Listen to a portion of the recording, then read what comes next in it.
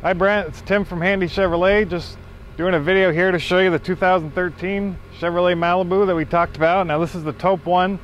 Uh, the champagne one's inside, so I can't exactly drive it around to show you all the features, but I just wanted to show you inside what the uh, some of the things it has going for it.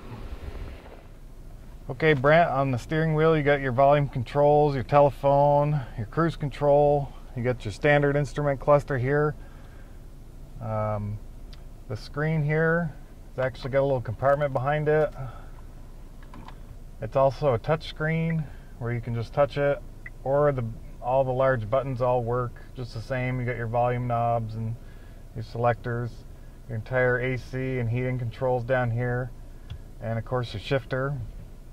And I just wanted to show you the rear backup camera, see what that looks like. So as soon as you put it in reverse, camera comes on and you can actually see what's going on when you back up.